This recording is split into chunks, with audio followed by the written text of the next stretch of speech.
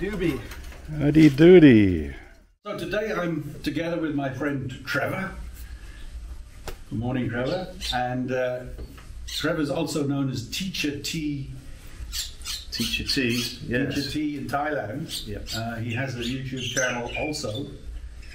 Um, and as you would guess from the name of his channel, Trevor is a teacher. And he actually teaches uh, around the corner from me here, about two or three minutes uh, ride on my motorbike to his. Exactly. What do you call that? A bilingual school, I think. Is that It is a bilingual school, yes. Yeah. Half the lessons are in Thai, half the lessons are in English. That's right. Yeah. But my kids are that clever, they can speak four languages. Which is how many more than you then? Yeah, about three more than you. yes. So, uh, yeah, they can speak uh, Chinese, they can speak Thai, they can speak English, and then they can speak their Aka Hill tribe Oh, language as well. Uh, Have you got a lot of Aka children in your class? Not a lot, not a lot, but uh, I think I've got three girls from the mountains that are very smart, very clever, Yeah. and uh, very bright kids, and they work hard. They really work hard. Well, I don't want to give too much away. It may not work out, but I've been nagging Trevor to let me maybe try and make a, a day in the life of Aka schoolgirls video, which I think would be very interesting for a lot of people watching my channel.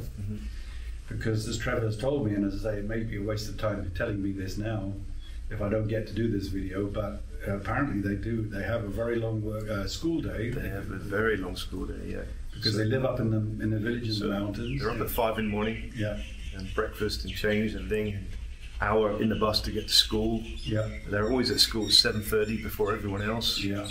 and then school starts at eight o'clock, Mm. and then they do after school class at school for an hour. Mm. Then they get on the bus an hour home, and then when they get home, they've got three hours of Chinese lessons. When That's they get incredible. Home. Yeah, Yeah. such a long day for them. So I thought that would be a wonderful little. It may not be a very long video, but I think just to illustrate how some up in this part of Thailand, how some uh, some people live, local people. I mean, they come from the Aka community who originally, I think, probably 100, 200, 300 years ago, came down from southern China or some part of China originally, but they're Thais uh, from an ethnic uh, minority, and they live in uh, they live in the mountains near here and they have different, diff- some different traditions, maybe some differences in their religion, in the clothes they wear. That's how they identify themselves. Yeah. Anyway, I'm going too fast ahead of the, on this thing because it may, may never happen. But I think that's very interesting, uh, Trevor. You work in a, in a local school.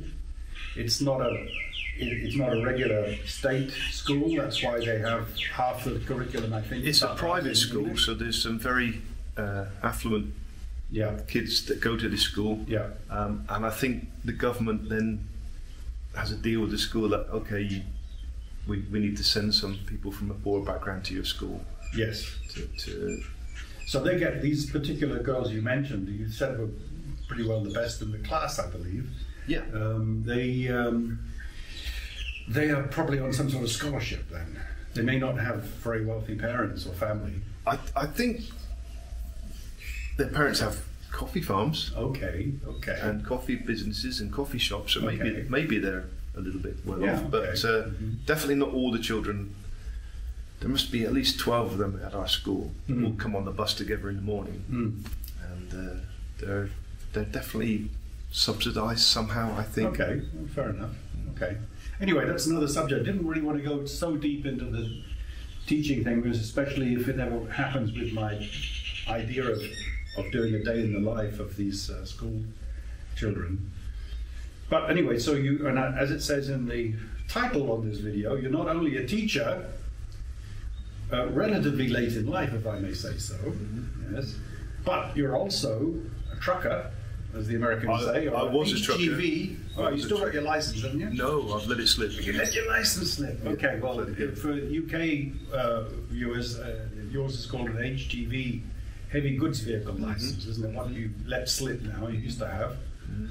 And I think the backstory on that, you told me, is that you were, for many years, most of your life, I think, working life, you were in the RAF. Is that right? Yes, yes. I was Okay. a, a regiment gunner in the Royal Air Force, Okay, and my resettlement training was HGV drive, okay. which which I took. When was that actually? When did you do that retraining to be a trucker, uh, an HGV, uh, heavy goods vehicle driver? Oh, well, driver? actually, maybe that's a lie then, because Uh-huh. I did my HGV when I was in 1920. Maybe you had to refresh it when you left the RAF. Yeah, pretty much. I did it when I at a very early age. You had to be 21 in England to, Uh-huh. to do an HGV. I did mine at 19. I had Okay. an exception, exception Mm. because I was military. Yes. I got mine at a very young age, Yes. and uh, so I've always been driving trucks. Always, always. But you always. didn't do that as part of your RAF thing, did you? You Well, you just had to trucks? take troops from A to B, so Okay. everybody had to sit in the back. I had the You nice said you were a gunner, but so in fact you were you also drove quite a bit in the RAF as well, did you? Just logistics and things. Yeah. Okay. Yeah. Okay. Okay. Interesting. And how long were you in the RAF?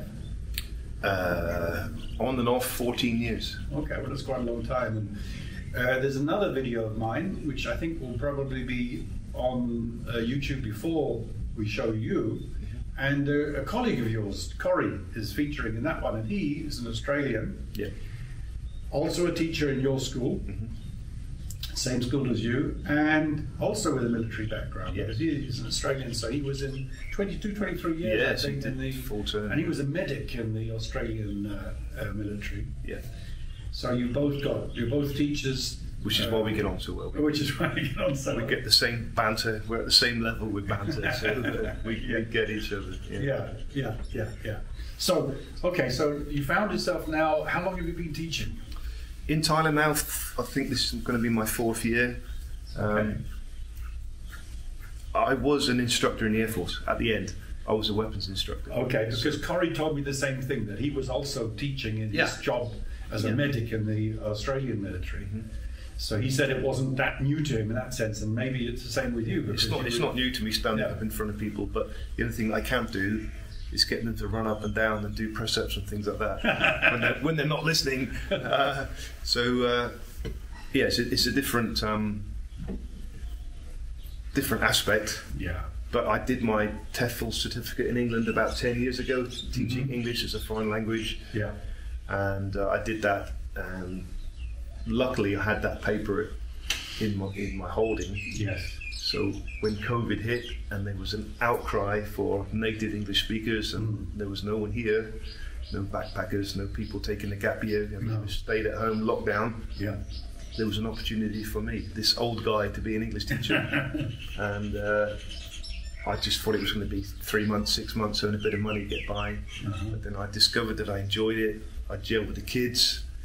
I've got grandchildren in England, so I know how to deal with young kids, you Yeah, know. yeah. And uh, so yeah, it's worked out all right. And maybe maybe one more year left, Hmm.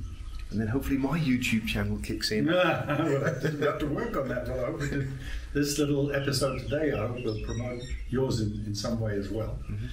Um, so, what were you doing? How come you were in Thailand in the first place when this opportunity arose for you to do some teaching?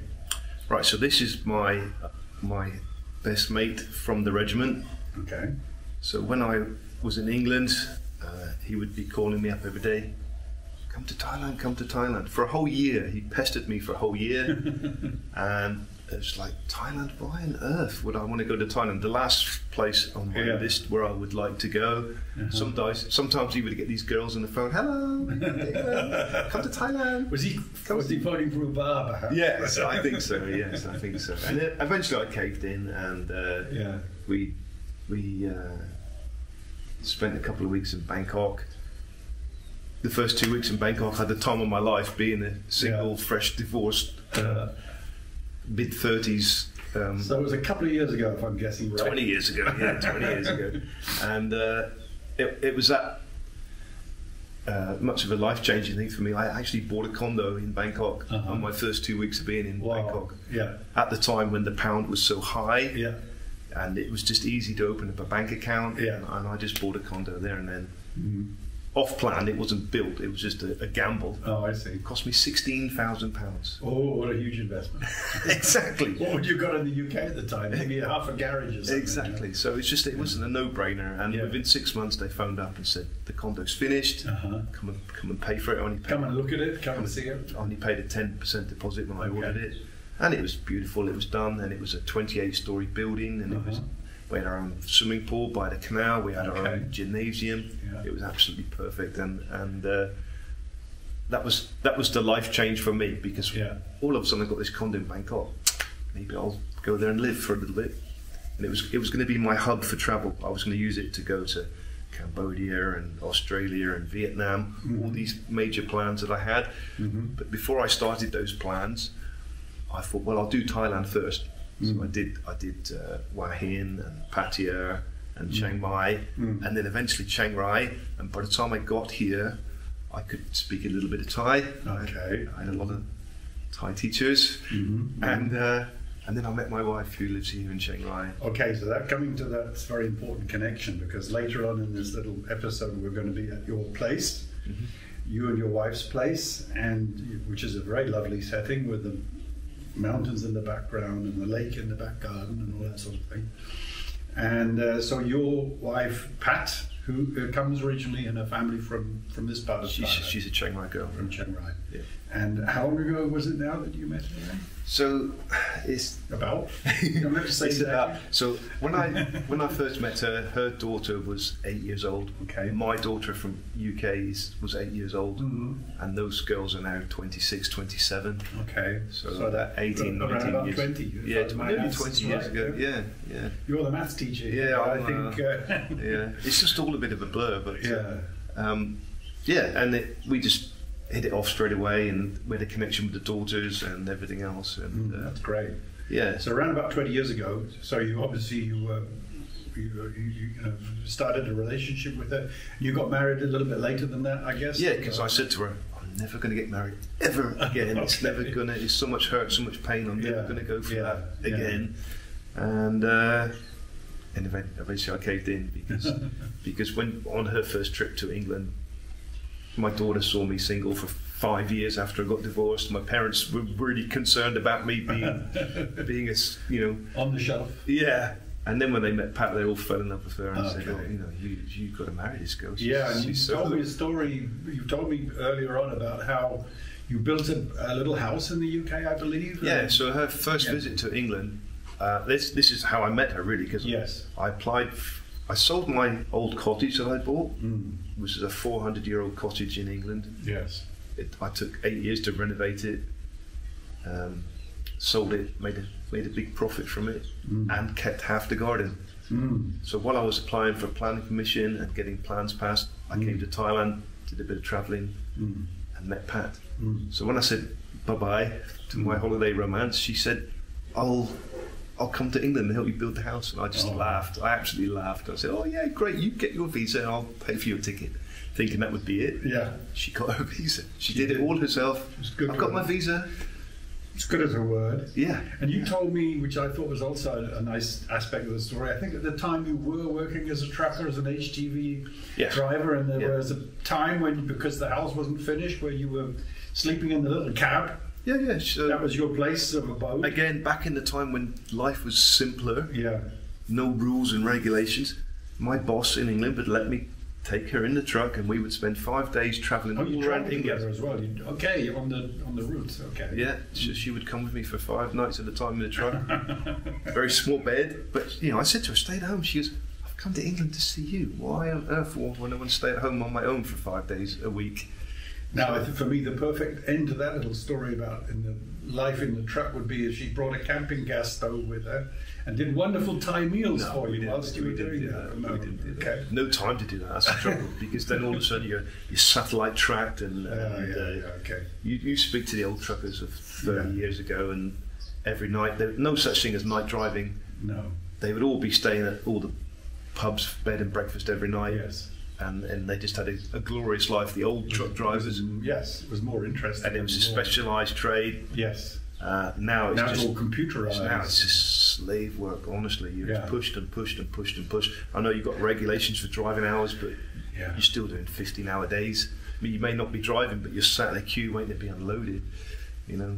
So So anyway, anyway, I miss those days anyway. I, I don't. Well, the, the new days, the, the, the, the controlled ones, where the where the, the, the itinerary is fixed and, and you're and you're what you're monitored, I think, by satellite. Yeah, yeah. say. So it, so this is how me and Pat survived. It would be Yeah. three months me working in England yes, as a truck driver, yeah, earning enough money that I can come to Thailand for three months and, Yeah. and live like a king. yeah. And we did that for many years Mm. until COVID struck, and I got stuck in England the day I think uh, uh, three or four days after I landed in England, Boris announced lockdown, Uh-huh. And I was stuck there for a year. Yes. And luckily, I had the HGV license I because say because you did some trucking then, didn't you? yeah, I did the whole year. Yeah, And that was from a, purely from a, money point of view. That was a, a very useful time for a you, brain saving thing Yeah, because I yeah. could not stay in a room for a year. No, you also got out. Unlike some people who weren't allowed out, even Mm. yeah, we, the, with those famous stories about people taking uh, road trips and so on. Yeah, Uh, what was the name? The uh, Johnson's assistant who got in trouble for taking Mhm. taking a road trip to test his eyes. I think that was the official reason for his road trip. But you and your job, that was your job. You had to get out. Somebody had had to deliver out. the food to the Yeah. supermarkets, and, and it was else. it was like a a movie, you know, Yeah. end of the world movie yeah, because there was no cars on the road. First time I ever seen it like it in my life. That yeah, no cars on the road, Yeah. deserted roads, and just trucks. that must have been special as well. And it, Yeah. it was scary at first Yeah. because everywhere you go to deliver, you have to use a touch keypad yeah, to get access to go Yes. in. And, and I was thinking, how many dry drivers have touched it? And then I was alcohol in my hands so Mm. much that the skin was peeling off my hands. And because we never knew, you know, we, we were told at the time, right, it was it was like a plague. well, yes, It's yes. gonna kill When you look us. Back on it, it does seem like a very yeah. So it, it was it was scary Different times. time. But and then people were allowed to go out and exercise once a day, so they'd be holding Barrett banners on top of the bridges as you're driving underneath. Thank you, truckers, and all this kind of stuff, which was kind of nice. Yeah. Uh, yeah, so it was really strange times. And then and then when I eventually did come back to Thailand, I was one of the first expats to get back to Thailand because I had a Thai wife. Yes. So and then I had to spend two weeks quarantine in Bangkok, which was just underlined the fact that I couldn't. That I really struggled with that. I really did struggle with that, Mm. And I just couldn't have done a year like that in England. No. I couldn't No. on my own. No. Um, so I do feel sorry for the people that had to go through that on their own. Yes. Terrible, terrible Yes. experience. Yes. Yes. Yeah. Yes. I agree. Yes. So, um, so you found yourself up here just around about. So it was obviously after they allowed people in Mhm. uh, to Thailand when you got out of the UK after doing your year or so behind the wheel, Mhm. taking advantage of that situation when you were there with your license still, and that was just around about so two or three years ago when you Yeah. came up. Yeah.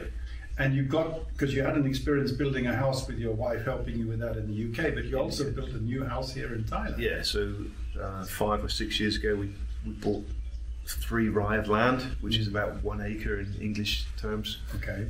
and uh, it was an old rice field, so we paid for hundreds of lorries to come and top it up to get it out of the, the Yeah. flood zone, Yeah. and now we've got our new house, which isn't new anymore; it's four years old. Wow. It's, everything's relative. You know, I think in the UK where we both come from, there's a lot of houses that are a lot older than four years. So you know. If you get a Thai lady, the first thing they want to do is buy land. The second thing they want to do is Build build, a new house. house. Yeah. This is common Yeah. throughout Thailand. Uh, but because we've been together for like 15 Yes. years, I was like, actually, it's, it's the time to do it now. It's going to be my retirement home. And she's found the perfect land. I, I gave her a list of things. It had to be near a canal. It had a, a view of Doi Chang Mountain. Yes. And I want rice fields all the way around me. And, and she found it. She found it. And she got it at a good price too. Yeah, that's important. So, uh, yeah, so we got our, our nice little retirement home.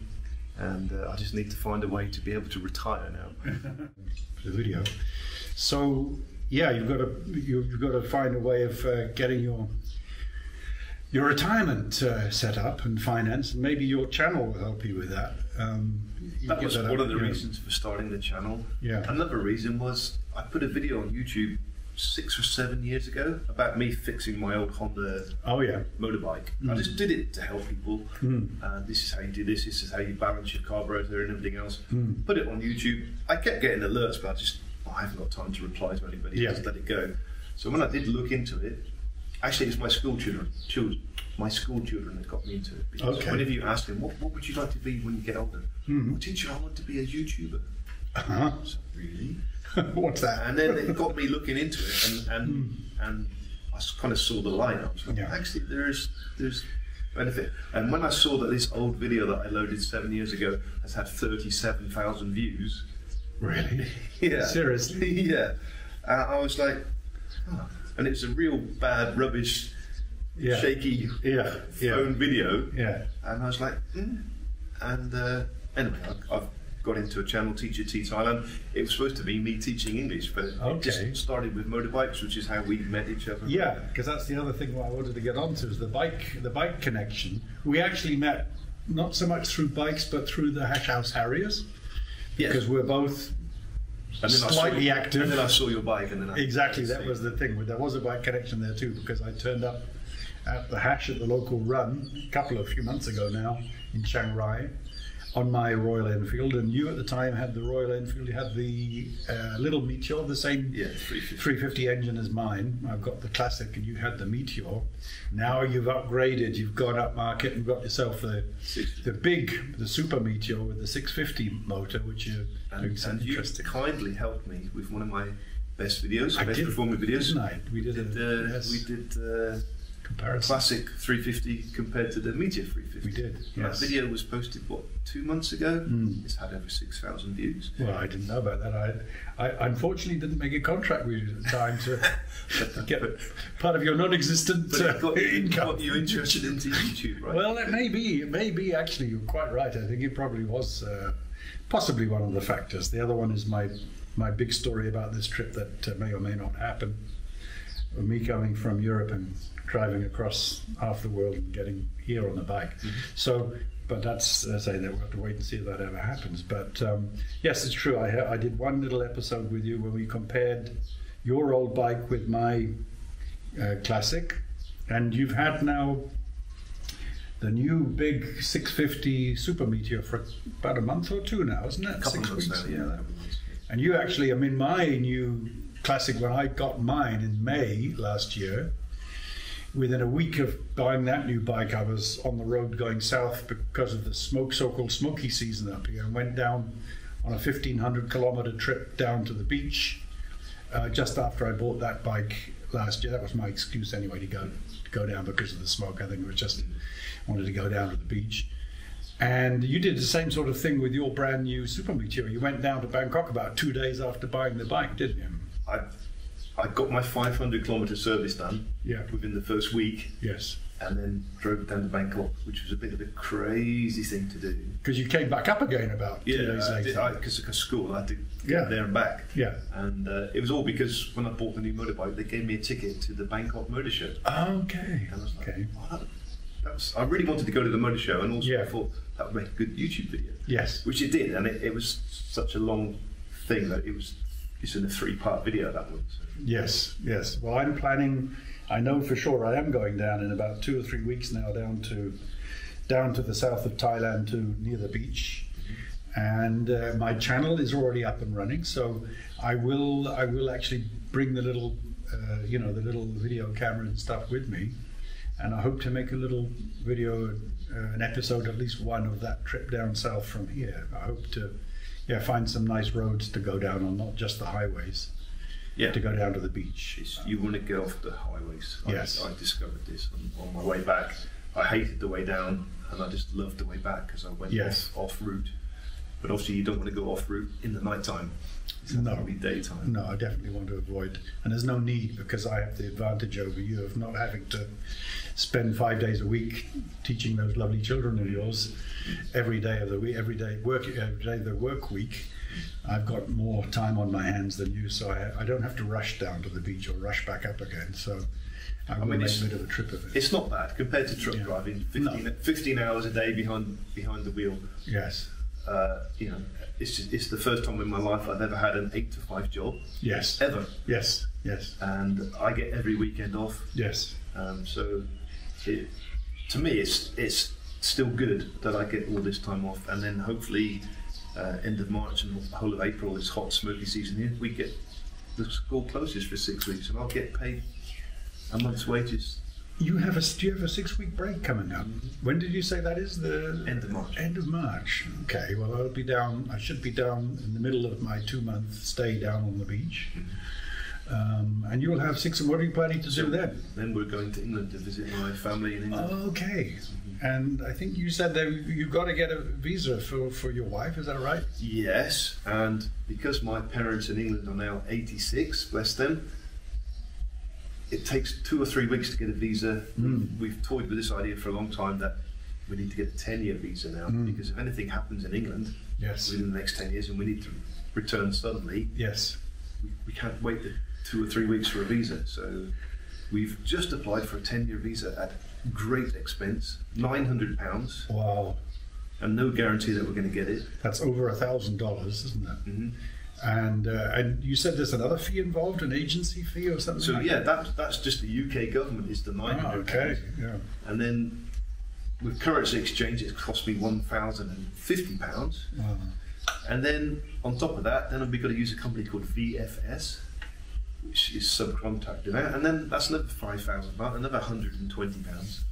So, It's an expensive thing, but if you manage, as I hope you do, to get one for for so. Pat's been to England about Yeah. seven times, Yes. but every time they want to take her fingerprints Oh. and eye scan, Uh, as if she's ever going to change them. yeah. Yeah. And as if they don't, you'd think they would They have, have it. They take that trouble to have it in their database. Yes.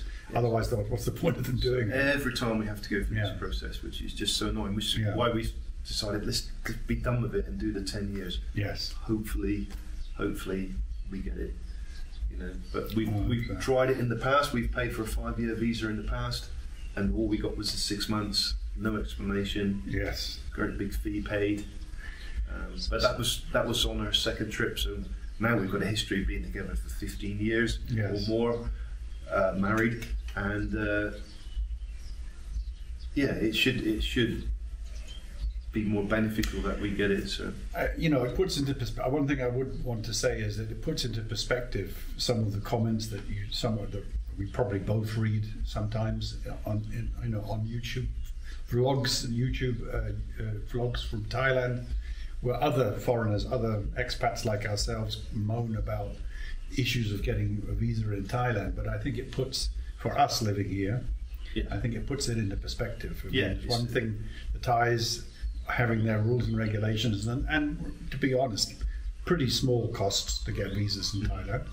But when you compare it with the Yeah, with what you're going through at the moment Yeah, for your Thai wife, to whom you've been married for quite a few years now, um, getting a visa to go to the UK where you've got elderly parents living, um, you know, when you put put that into comparison, um, it would be the same, you know, with Americans. I think um, it's no easier for somebody wanting to take their Thai wife to the States. It's maybe even harder. I it's, expect. it's difficult. It's not easy. So Yeah. this is when I laughed when she when we first met. She says, "I'll get the visa," just knowing Yeah. how difficult it was. Yes. And she did it, and Yeah. did it all herself. She didn't use a translator. She filled out all the forms in English herself. Yes.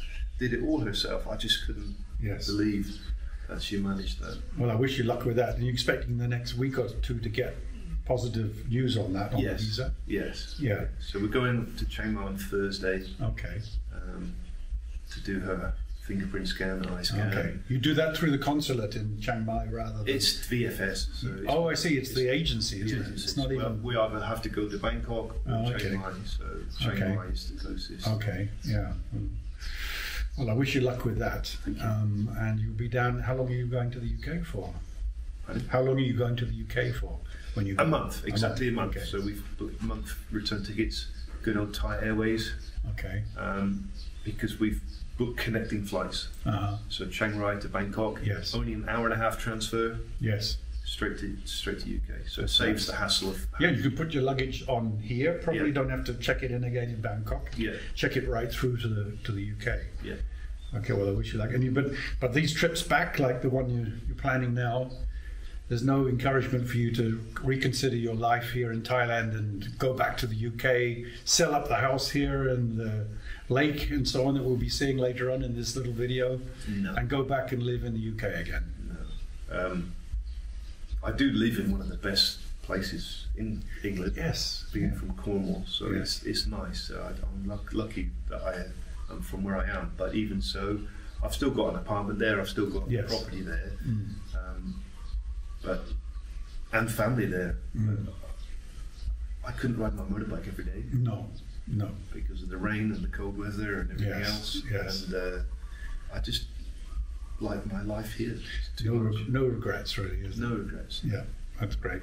Well, I think it's a good note to, to finish on, uh, Trevor. Thanks very much. And uh, we'll go and have a look at your at your lovely house and uh, uh, little garden and uh, vegetables and so on you're growing outside the house and the, and the lake with the with the snakehead fish Okay. and the views of the countryside and everything else, and even some drone footage of your house coming up. So uh, ask the viewers to hang on and watch that. And uh, yeah, thanks a lot again. No problem. See you guys soon. Thanks.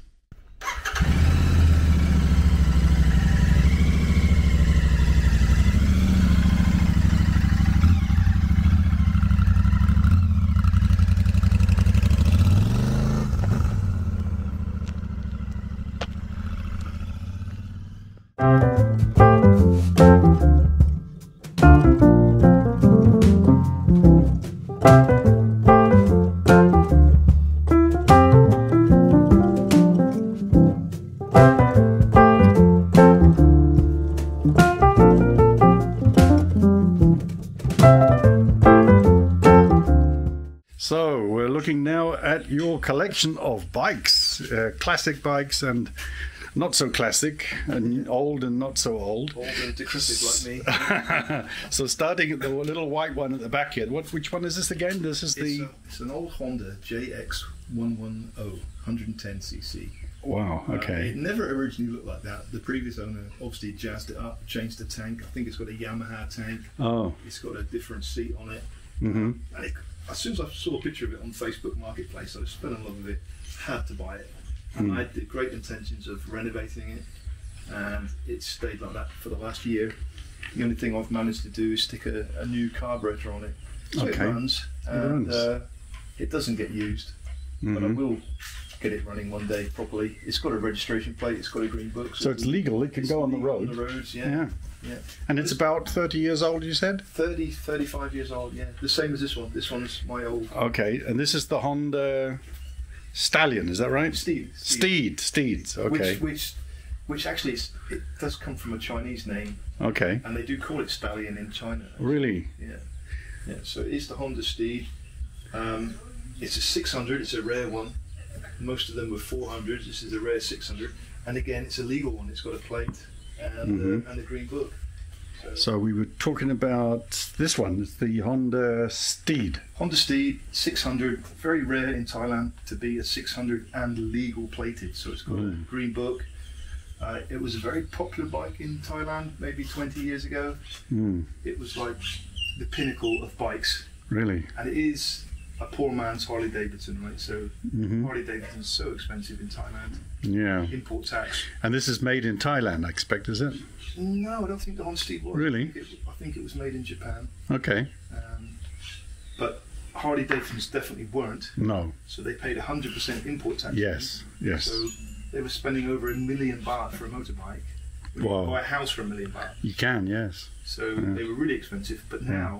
Harley Davidson has got some factories set up in Thailand, so they are cheaper. But they're Okay. still they're still five six hundred thousand baht. Oh, yeah. Where this one cost me one hundred and twenty thousand baht. Mm. So a poor man's Harley. I don't know if it'll start up. Let me try. It's a bit noisy. Oh, yeah. Poor man's Harley Davidson. It's even got the judder. Look at that. Oh, yes. Very good. People know you're coming with this bike. They certainly do. And it's it is a joy to ride, which is why I had to buy the Meteor 650. Okay, well, that's your latest acquisition. Let's have a look at that are the one. forward pegs. I'm so Oh, yeah, you're used to the pegs. cruise position now. Yeah, the cruise position that I had to buy that. Okay. So uh, now we're with the, the very latest. This is just a couple of weeks old now, isn't it? A few weeks old. A couple of weeks old. That's right. So uh, So we've got the I Super Meteor. Forward pegs, basically. And also, I fell in love with my Royal Enfield Meteor 3. Yes. Well, that's a little bit forward pegs, isn't it? Not not as extreme as this. Much. No. And um, so this definitely does it. But now, after my latest cruise to Bangkok and back last weekend, Yes. I do I do realise that maybe mid pegs are better because at least you can stand on the pegs when you go over bumps. Oh yeah. On this, you can't. You, No. You get everything in your buttocks. Mm. So uh, not as not as clever.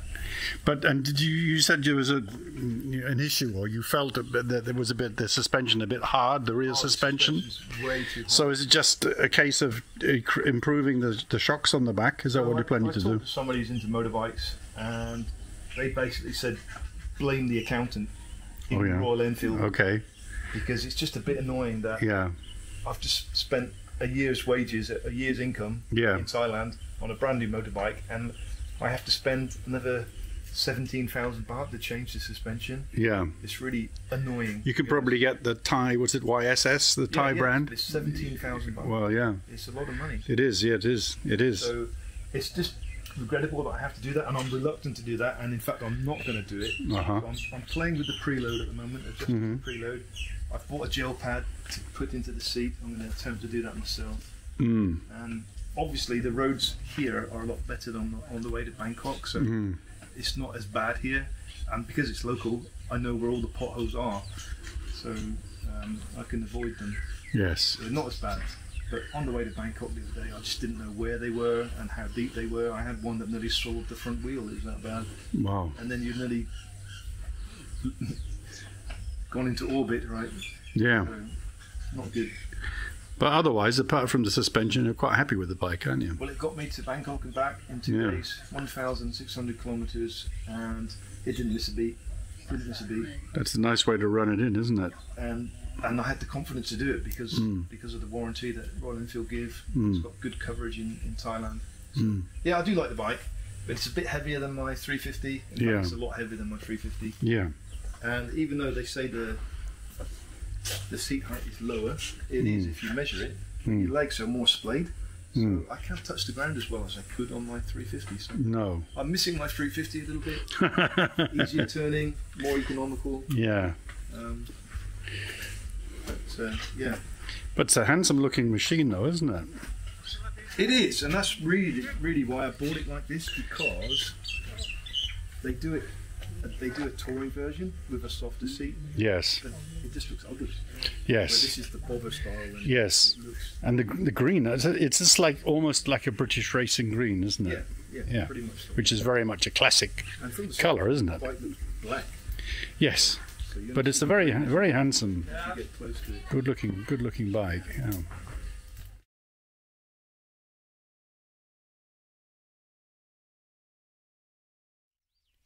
Beautiful countryside here. You've got the rice paddies right next to your property, and uh, the mountains in the background there in the distance. That's a beautiful view.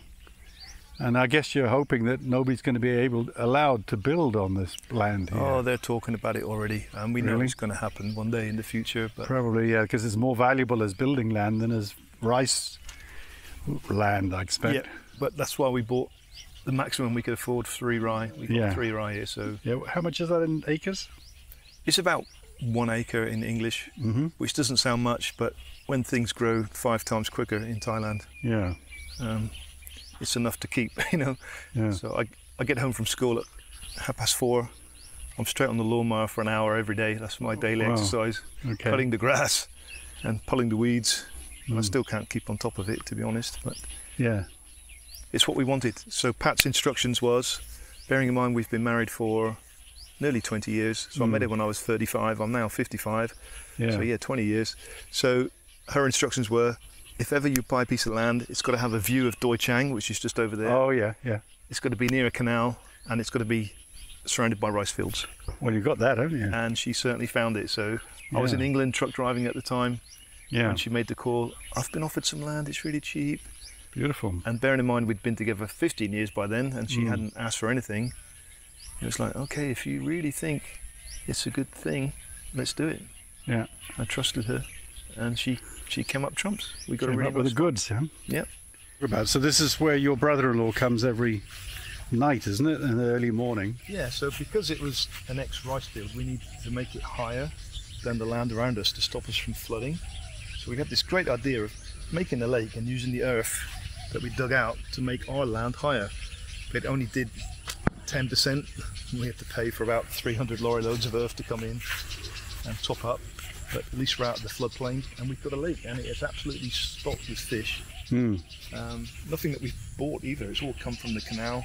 Oh. Every time we caught a fish from canal, we transplanted it in here, That was four years ago. They've bred like crazy, and it's And these are the snakehead fish you said. all, all types of fish. Oh, okay. Tilapia, snakehead. Okay. Um, so we're going to have a barbecue in a minute, and the fish that you see on the grill came from this lake. Ah, out of the heat. Okay. Oh, great. Okay. We've got these net catchers. This is full of prawn in there as well. Oh, really?